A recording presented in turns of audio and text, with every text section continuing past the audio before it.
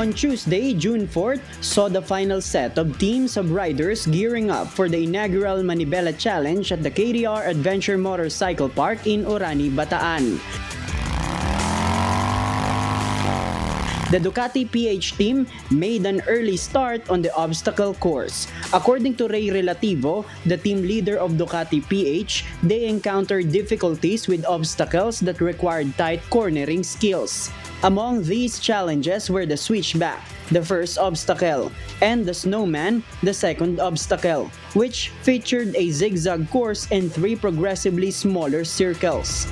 Yung Ducati, hindi talaga kayang lumiko kasi design yun sa high speed. 'di ba? Hindi talaga design para sa mga ganitong obstacle. Pero nakayanan naman. Also part of the team was Alfred Watermax, the co-host of the Manibela program. He noted a distinct difference between experiencing the obstacle course firsthand and merely commenting on riders' performances as a program host. Well, nung ako yung nag-participate na, iba yung adrenaline syempre. Kaya lang, iba pagka alam mong live na, tapos sinicheer ka ng mga grupo mo, ng family mo, nandito sila, full support. So talagang yung adrenaline mo, pagpapump talaga eh. The group completed the Manibela Challenge in 1 hour, 40 minutes, 38 seconds, and 79 milliseconds, with the entire team satisfied with their performance.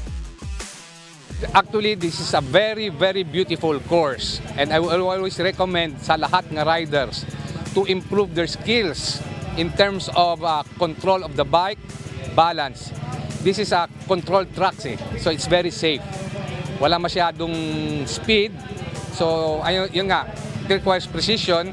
Ah, Maganda itong naisip ng KDR kasi pag natapos mo ito, gagaling ka sa road.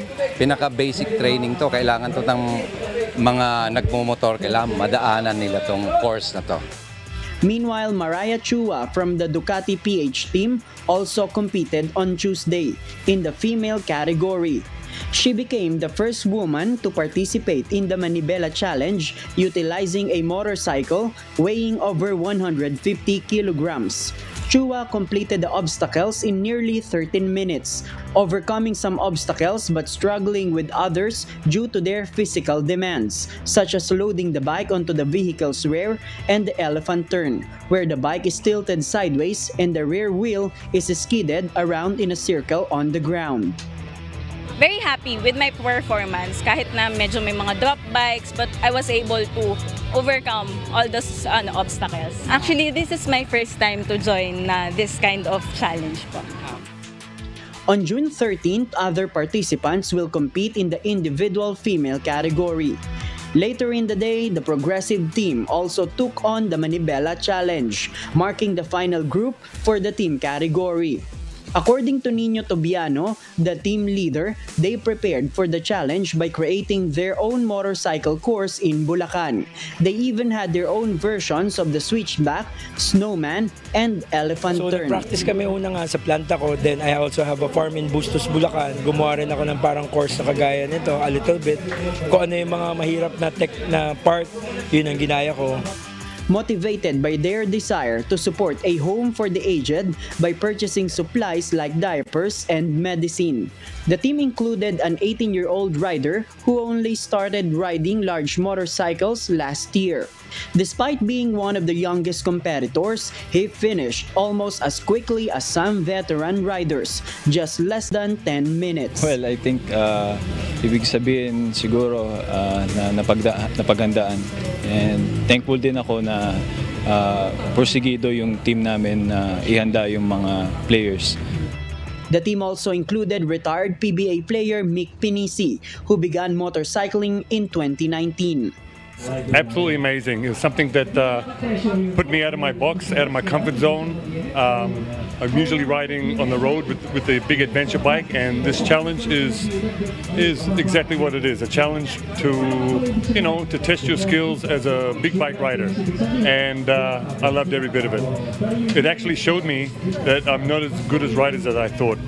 So I I recommend anyone that has a adventure bike or whatever come and try this course. It, it, it'll definitely humble you. They completed the Manibela Challenge in 1 hour, 55 minutes, 58 seconds, and 30 milliseconds. Participants in the Manibela Challenge highlighted the camaraderie among riders due to the teamwork required to complete the course. Additionally, they found inspiration in completing the entire course and not giving up because of the beneficiaries who could benefit from the prizes. The awarding ceremony for all categories of the Manibela Challenge will take place on June 16. Official running times of all teams and individual categories will be announced in the event, along with any additional time penalties incurred. JP Nunez, UNTV, News and Rescue. We serve the people, we give glory to God.